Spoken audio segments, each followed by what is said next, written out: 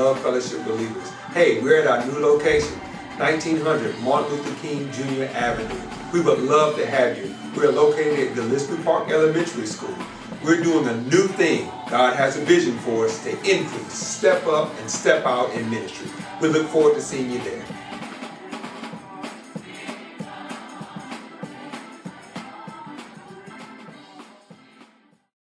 This group of people called the Israelites, and this group of people called the Israelites are God's chosen people. He chose this group to be his people.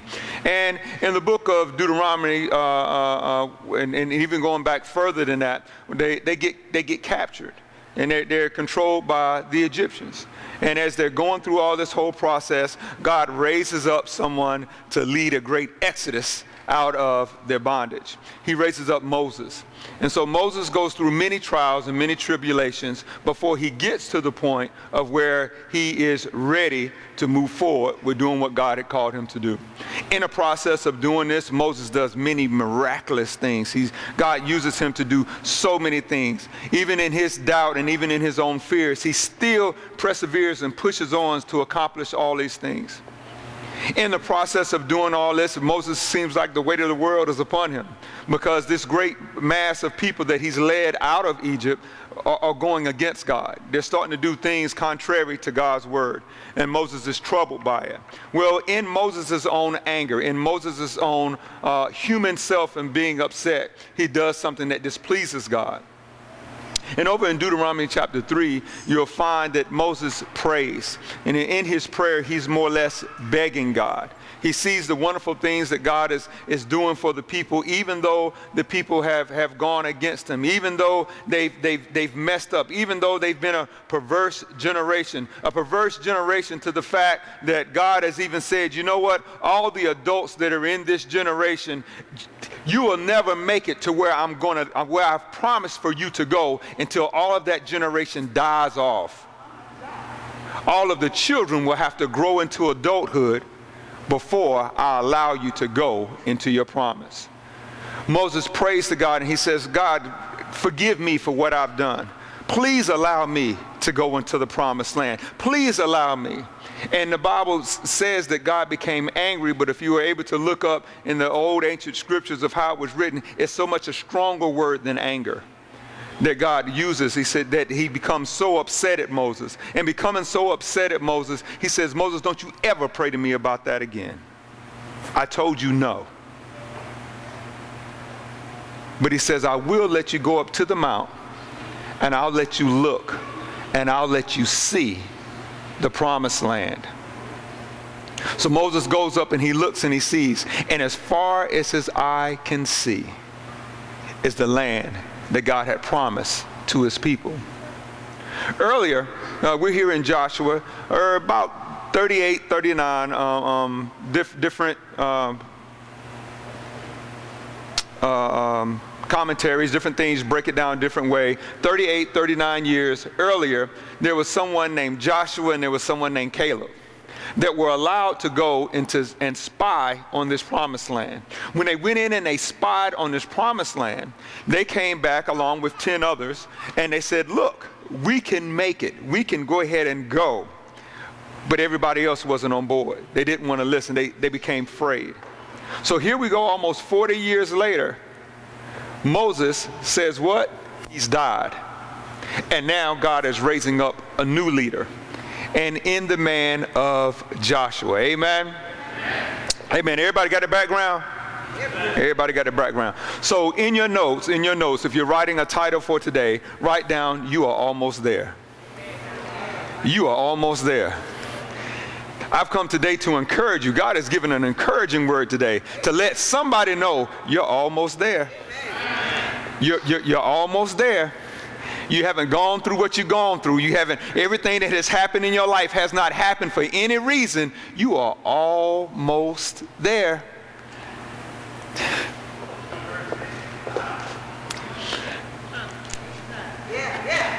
Joshua, verse number one. It says, Now after the death of Moses, the servant of the Lord, it came to pass that the Lord spake unto Joshua, the son of Nun, Moses' minister, saying, Now, here they are if you go to the end of Deuteronomy and you read up, Moses has just died. there's a mourning period for Moses, and the whole encampment is sitting on the riverside of Jordan.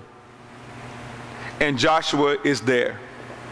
And as Joshua is sitting there, God speaks to him. Verse 2 Moses, my servant, is dead. Now therefore arise, go over this Jordan, thou and all this people, unto the land which I do give unto them to the children of Israel. Now, there's a lesson in, in, in verse number 2 altogether. He says, Look, Moses is dead, Moses is gone. He's done what it is that he needed to do there's some areas and there's some situations and there's some circumstances in our lives. See, if Joshua would have just stayed at the riverside mourning over what had happened instead of rather listening to God and getting up and get ready to go do what he needed to do, he'd still be by the riverside. But God spoke to him and said, Look, that situation is over. That situation is done and over with. I created it for a purpose in your life. It's fulfilled the purpose, and now it's time for you to move on. Amen. That, that's, that's a whole nother, somebody catch that there's some stuff in your life, just go ahead and let it go. Just go ahead and, and, and allow it to be whatever it was in your life. And now understand that God is calling you to something totally different. Amen. So now, Mo, Joshua, I don't need you to be Moses' minister anymore because now Moses has died. I used all of that time to proof you. I used all of that time to train you. I used all of that time to get you to where you are now so that you can walk in the calling and the divine purpose that I'm now placing in your life. Amen. So he says, now get up. Get out of your mess. Get up, arise, get all the people together, and get ready to go. Amen. Did somebody catch that? Amen, amen, amen. So now he says, get ready to go, or, uh, children of Israel, verse number three. Now, you're almost there. What, what helps me to realize that I'm almost there. I'm going to give you three P's. I'm going to give you th- three, three P's. Uh, and these three P's, uh, the first one is going to be a promise. Uh, uh, a promise. Amen. Amen.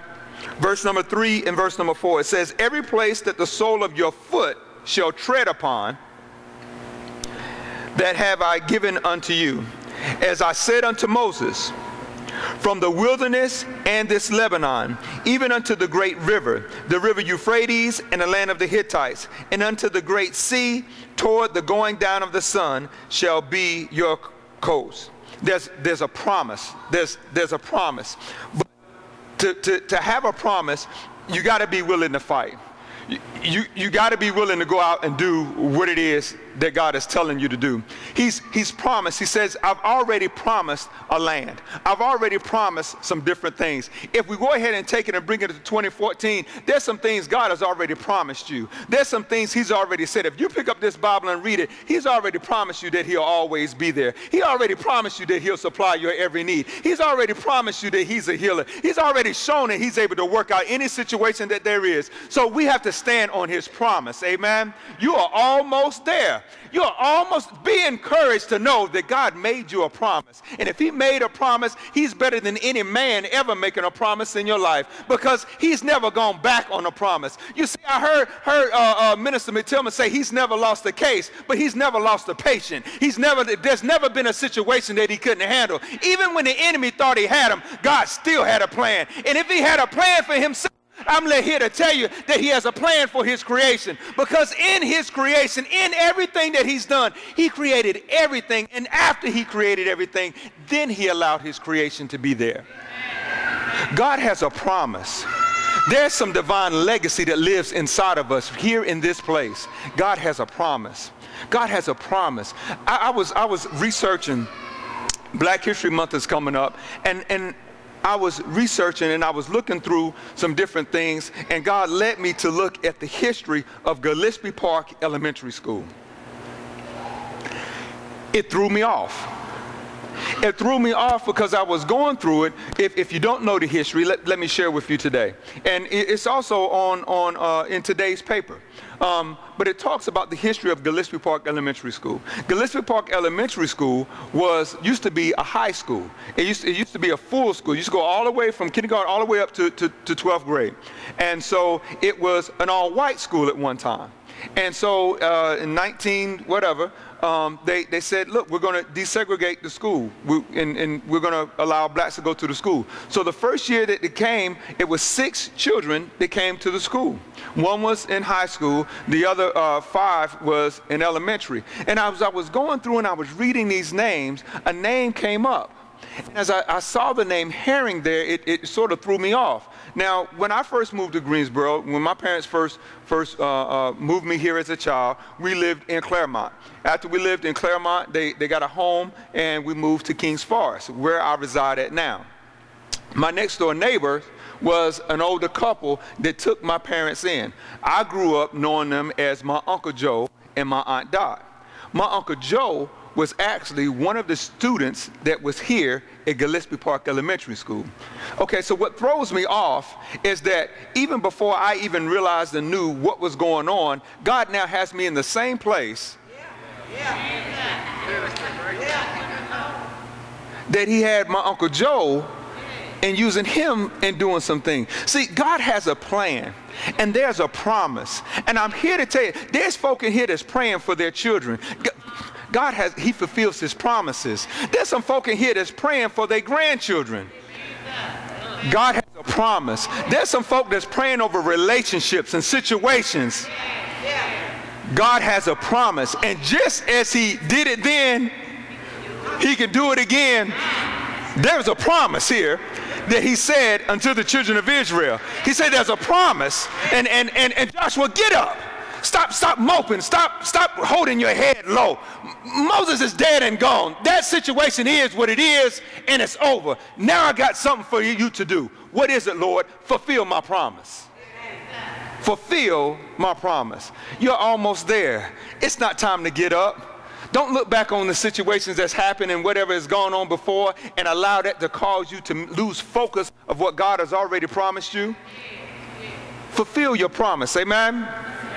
Amen. Be willing to fight for what God has already promised. Be willing to fight for it. It's not something that, because see, just getting up and going into this land was not going to be an easy thing. When I say that there was people, I don't mean there was a thousand people. I don't mean there was 10,000 people. There were hundreds of thousands of people that Joshua had to lead.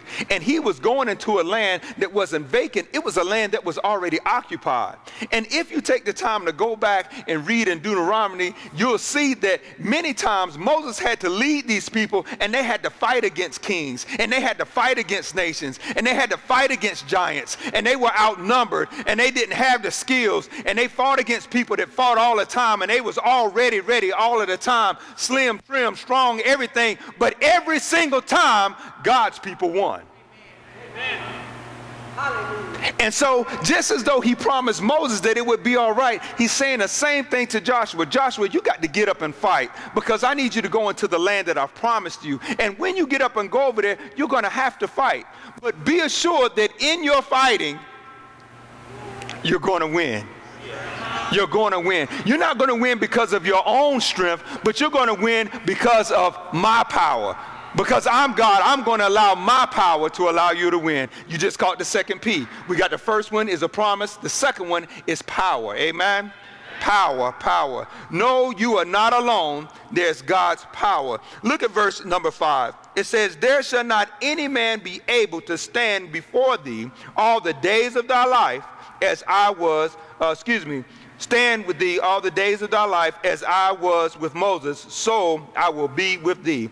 I will not fail thee nor forsake thee. God's power God's power is what's doing it. So he says, Look, I need you to go ahead and go into this land. I don't need you to be scared. I don't need you to feel as though you're inadequate. I don't need you to think as though you're not going to make it. I don't need you to look at your own shortcomings. I don't need you to get caught up on that you're too short. I don't need you to get caught up on that you're too tall. I don't need you to get caught up on that your hair ain't the, the grade of hair you need it to be. I don't need you to get caught up on your skin complexion. I don't need you to get caught up on what you got in the bank. I don't need you to get caught up on what you drive. I don't need you to get caught up on where you live. I don't need you to get caught up on where you work. I don't need you to get caught up on what you have. I don't need you to get caught up on what you don't have. But I need you to get up and go do what I told you to do because I promised it to you and I'm going to allow my power to allow you to make it. He says, be strong, have courage Come on, we're not a faint people. He had women, he had men, he had children. Joshua had to lead. Get up, get ready to go. They were dependent on the fact of whether Joshua would fulfill the call that was placed upon him. There's somebody that's dependent on the fact of whether you would do what it is God has told you to do. That you would do what it is He's promised you to do. And don't get caught up on what you don't have because God says, I'll make up all the slack and you'll have not only what you need, but more than enough of what you need. What if somebody had never taken the time to talk to you? Where would you be? What if somebody else would have said, No, I'm not going to fulfill my promise and I'm never going to talk to James McClary? I'm giving up on him. I, I, I don't feel as though I can talk to him. I don't, I, don't, I don't feel as though I can go to him and talk to him in truth and love because it's going to come out any old kind of way because I'm less than, I'm lacking, I don't have what it is that I need. And for that reason, you don't go and say anything. For that reason, you don't go and open your mouth. What if they had never done it to you? There's folk in here that have families. Your children are dependent on you. Your children are dependent on you to not fall into the same trap over and over again, to not have to deal with the same mess over and over again. Somebody's dependent upon you to not allow the generational curse to go to the next generation. You got to be the one to break it. You got to be the one to stand up and do something different. Well, you know what? We always drink. Well, you know what? We were always womanizers. Well, you know what? We always did this. We always did that. So what? It's time for that to change. Allow that to die on off just like Moses and go ahead and stand up in your promise and understand that you got God's power to make it where you need to go. You're almost there. You're almost there. Don't quit. Don't give up. It's right there. It's right there.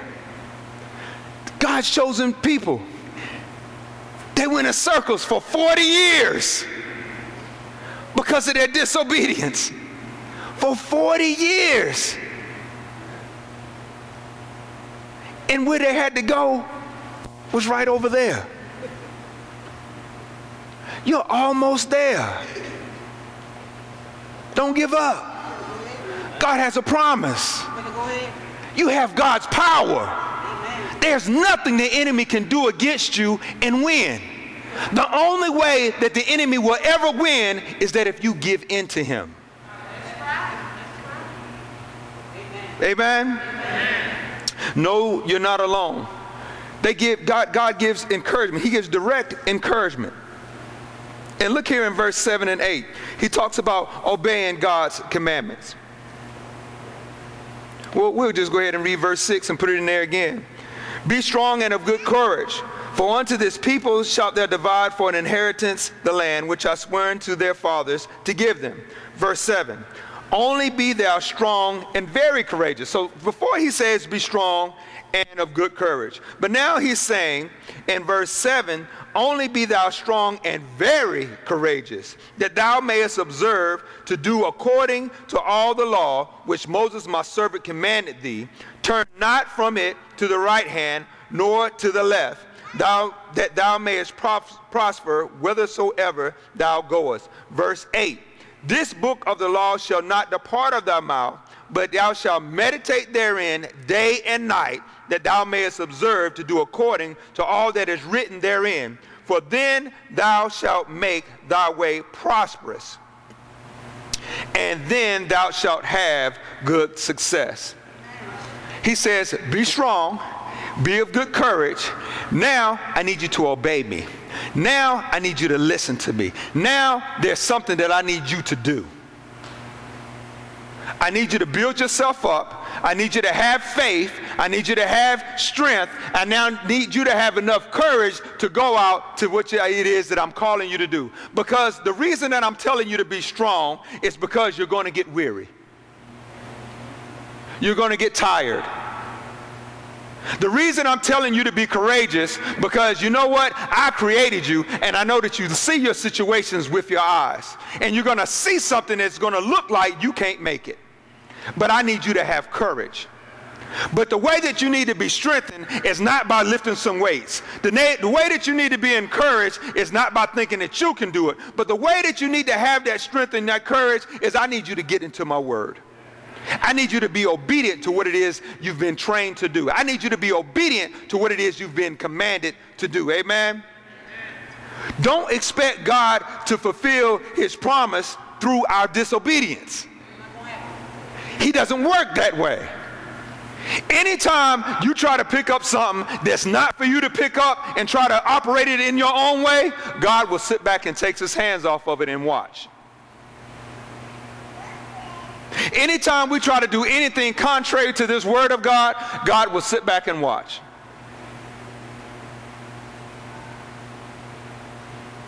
I can give my own testimony on the fact of trying to do something my own way instead of sitting back and letting God do it. In the wilderness, the children thought they were going to do it themselves. In the wilderness, they said, Oh, Moses, this God that you're talking about, we're going to melt down our gold and we'll make us a golden calf, and that's what we'll worship. In the wilderness, and I told you, God's response was, You know what? Because you want to do it your way, you're going to go ahead and go around in a circle for another 40 years because you're doing it your way. When you're ready to do it my way, when there's a people that's ready to be obedient unto me, then I'll go ahead and let you move forward. But until then, you're just going to spin wheels.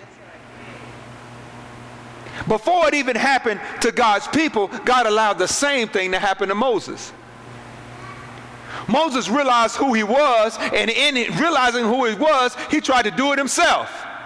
And so he murdered an Egyptian soldier. And so he had 40 years in the wilderness.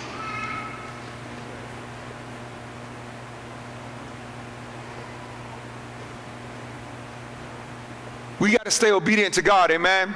He doesn't bless disobedience. Well, what does it say here in, in, in these verses that we just read in 7 and 8? It says you need to talk about the law. Amen. Verse, verse 7 Only be thou strong and very courageous that thou may observe to do according to the law which Moses my servant commanded thee. Turn not from it to the right hand nor to the left, that thou mayest prosper wherever thou goest. This book of the law which thou did not part from thy mouth. Don't let it depart from thy mouth. Instead of talking about everything else, why don't you talk about the Lord? Instead of talking about everything else, instead of talking about what we don't have, instead of talking about what we're going through, and what it's talking about all the negative stuff, how about trying to take a look at the glass as being half full instead of half empty? And go ahead and why don't you start talking some positivity over your own life? Why don't you start talking some positivity over your own situation? And why don't you see if just changing the way that you talk starts to change your situation? Because the Bible says there's power in the tongue. And so instead of me always talking about negative stuff, let me start being thankful for what I do have. You know what? I don't have a car, but I got two legs. You know what? I don't have the house that I want, but I got a roof over my head. You know what? I'm not eating steak today, but I'm thankful I got some bologna on my plate. Start being positive about what you do have and watch to see if God don't start turning around. Oh, that spouse that I got, that man that I got, that woman that I got, they getting on my nerves. Be happy you got some nerves to get on. Be happy somebody even wants to spend some time to be with you because you ain't perfect either.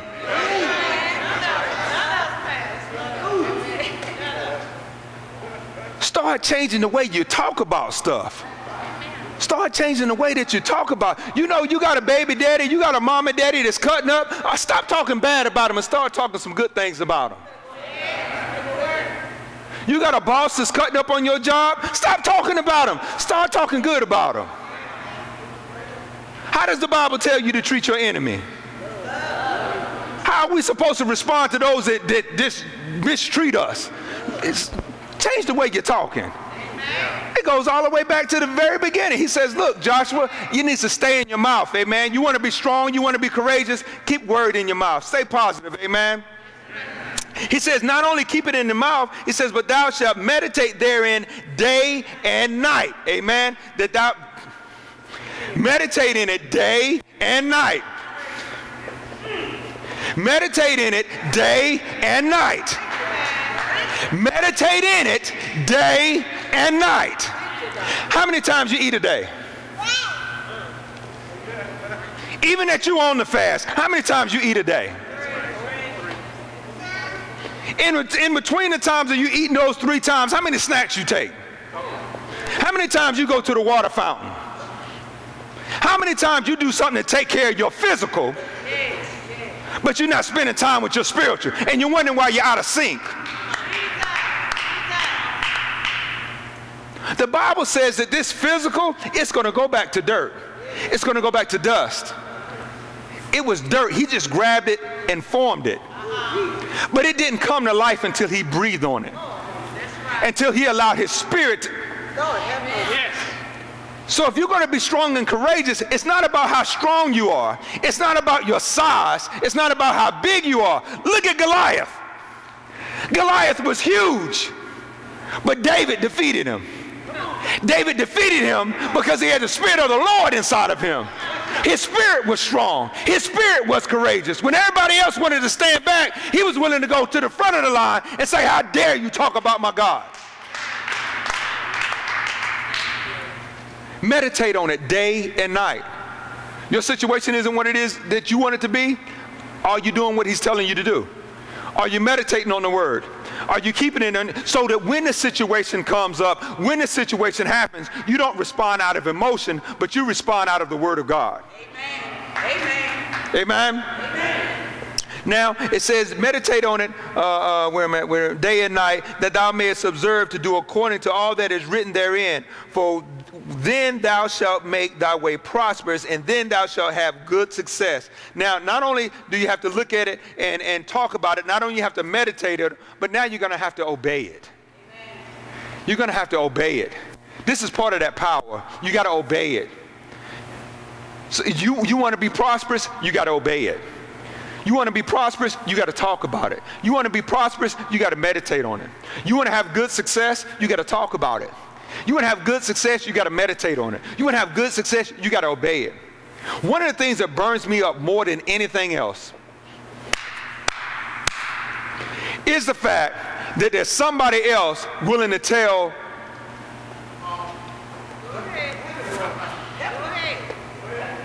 there's somebody else willing to tell somebody how to do what they're what they're called to do and they doing what they're supposed to be doing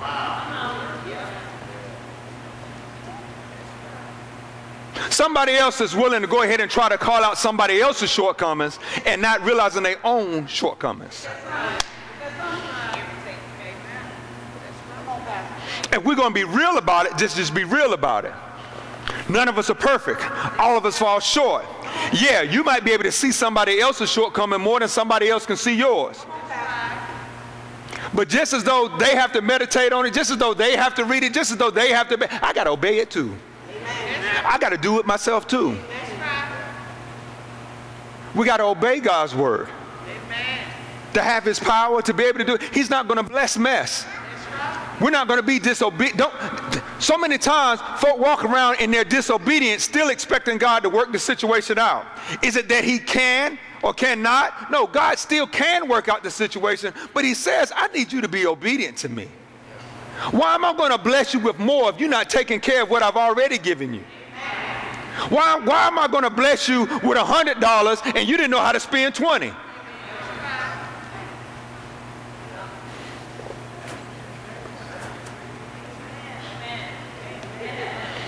Amen. So we got we got three P's, three P's, three P's. We have a, a promise and we have power. Now I want to go ahead and start to look at his presence. Amen. Look, look at look at verse number nine. It says, Have not I commanded thee? Be strong. Come on, he's saying it again. This is the third.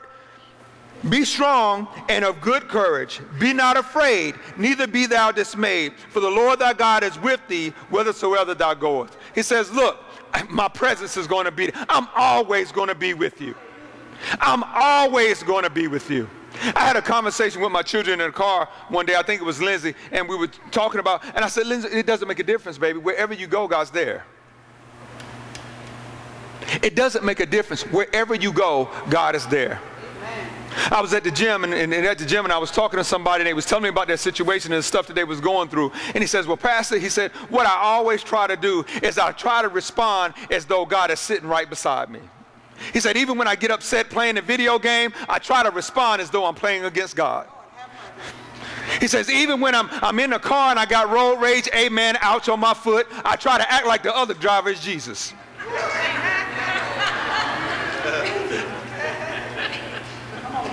He says, I try to act as though he's always there. He's, he's always there with me. And it's true, he's always there. There's not near a situation that he's not there. There's nothing that goes on that he doesn't know about. He's always there. And he tells Joshua, Joshua, I'm going to be with you. Joshua, just as though I was with you over here, I'm going to be with you over there. Be strong. Be of good courage. Know that God already has a promise.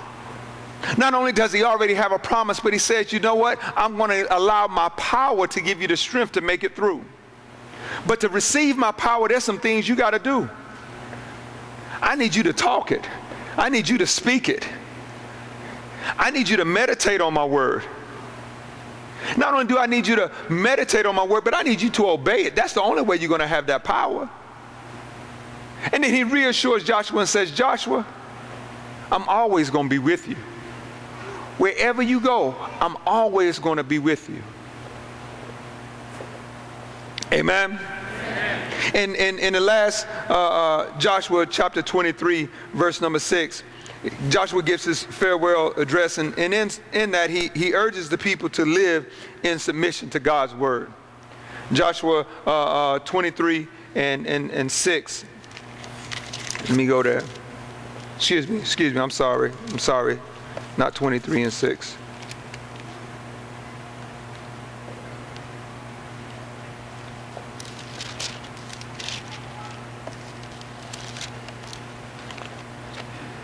I wrote down the wrong thing. I wrote down the wrong thing. I have to find it for you.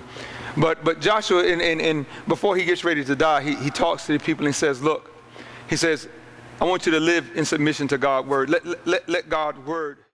Thank you for fellowshipping with us here at Love Fellowship Believers. I hope something was said, something was done that really touched your heart, and God is starting to work and change your life for the better. We would love to have you to continue to come out and fellowship with us. We're at 1900 Martin Luther King Jr. Avenue in the beautiful city of Greensboro, North Carolina. We're located actually in Gillespie Park Elementary School. We look forward to having you to come out and fellowship with us. Remember, God loves you, and so do I.